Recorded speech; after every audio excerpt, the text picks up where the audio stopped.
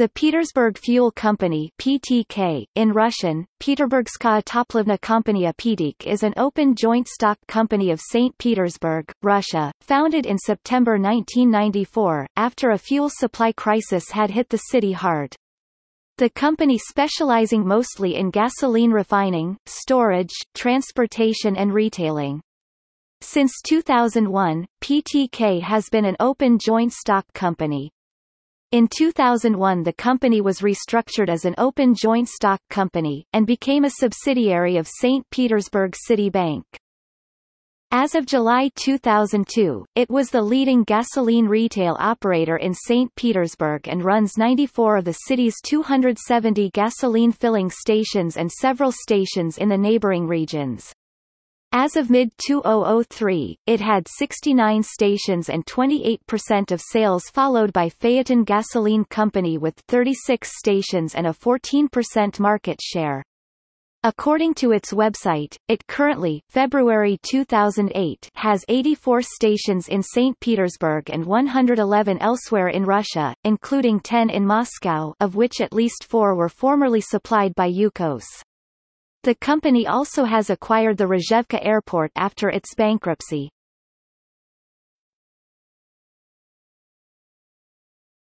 Topic: History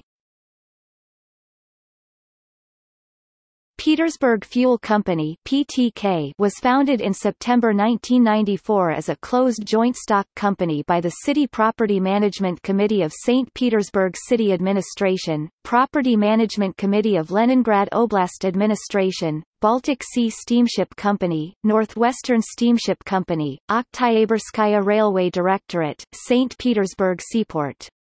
In 1994, as deputy mayor of St. Petersburg, Vladimir Putin awarded PTK the right to be the sole supplier of gasoline to the city, including supply to the huge fleet of city ambulances, police cars, buses and taxis. The deal allegedly triggered a violent gang war during which, on 1 June 1994, an attempt was made on the life of Vladimir Kumarin, the vice president of PTK and alleged leader of Tambovskaya Bratva.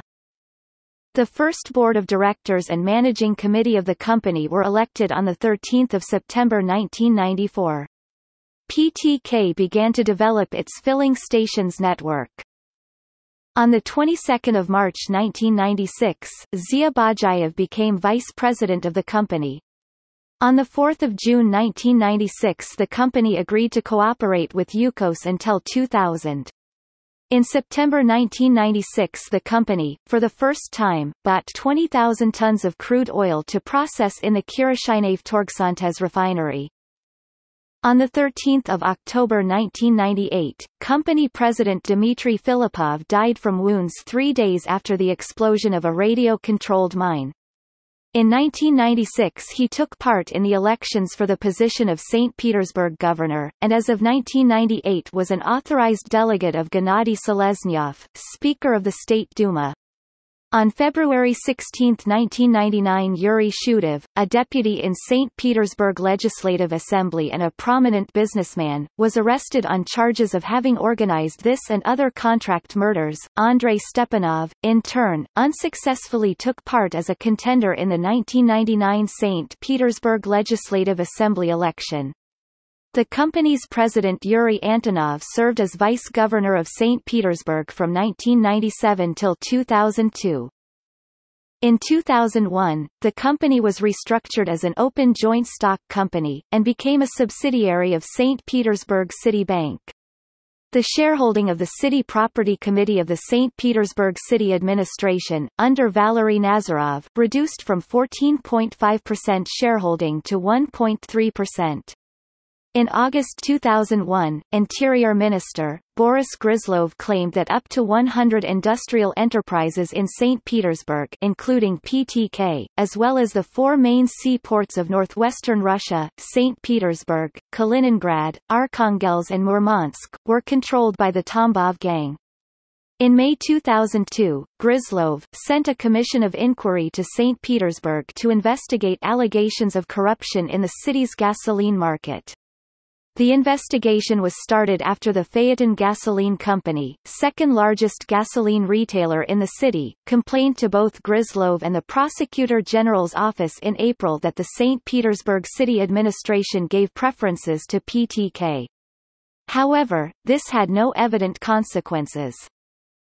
In August 2006, PTK President Yuri Antonov announced that the company would like to sell its stations to the oil company Surgutneftegas, its supplier of gasoline, and that Gazprom and Surgutneftegas might build a storage and distribution terminal near St. Petersburg on a 7 square kilometers site owned by Petersburg Fuel Company.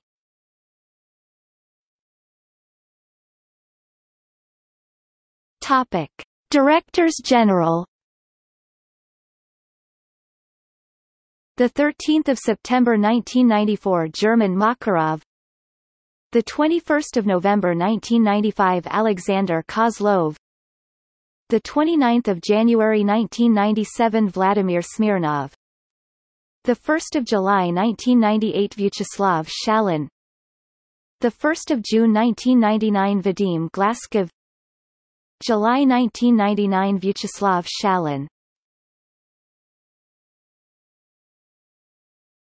Topic: Chairpersons of the Board of Directors. September 13, 1994 Dmitry Filippov. September 30, 1996 Vladimir Kalashov. June 30, 1997 Andrei Stepanov. December 28, 1999 Vladimir Smirnov.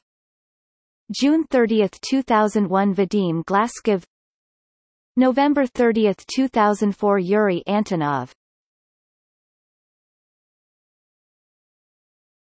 Topic. Shareholder structure.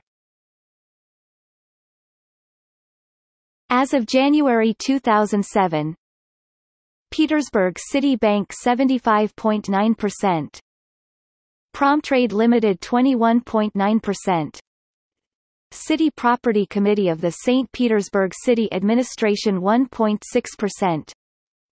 Vita XJSC 0. 6%. Topic. References and notes